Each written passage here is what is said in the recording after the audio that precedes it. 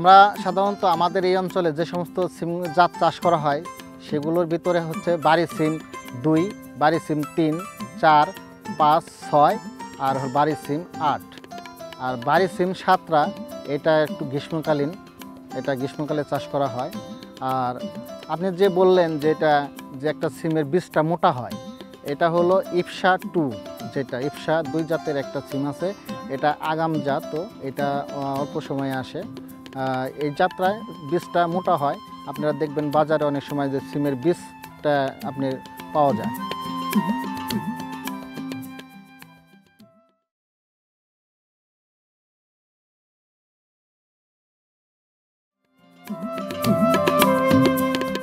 সিমের পরিচর্যা একজন সাধারণ কৃষক, তার প্রথম কাজ হচ্ছে সিমে যেহেতু জাপ পোকার আক্রমণটা বেশি হয় মেনলি এবং সেই সাথে এটা আপনার ফল ছিদ্রকারী পোকার আক্রমণ হয়।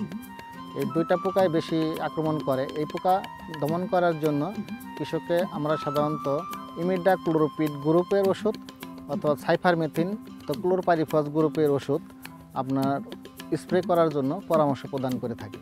এটা সাধারণত ওই মেঘলা আবহাওয়া, তারপরে আপনার ওই গুড়ি গুড়ি বৃষ্টি, তারপরে ঘন কুয়াশা এটা যদি হয় অথবা হঠাৎ করে তাপমাত্রা বেড়ে যাওয়া, এই কারণে অনেক সময় সিমের ফুল এবং সিমের যে বাদি সেখানে পচনের সৃষ্টি হয়।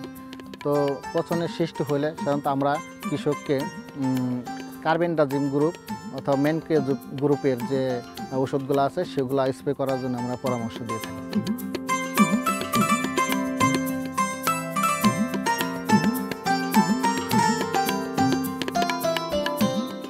সিমের খরচের সেরকম তেমন কোনো খরচ হয় না বেশি।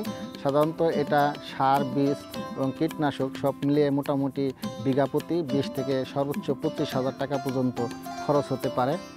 আর আমরা সিমের ফলন সাধারণত শতকে সত্তর থেকে আশি কেজি পর্যন্ত এটা ফলন হয়।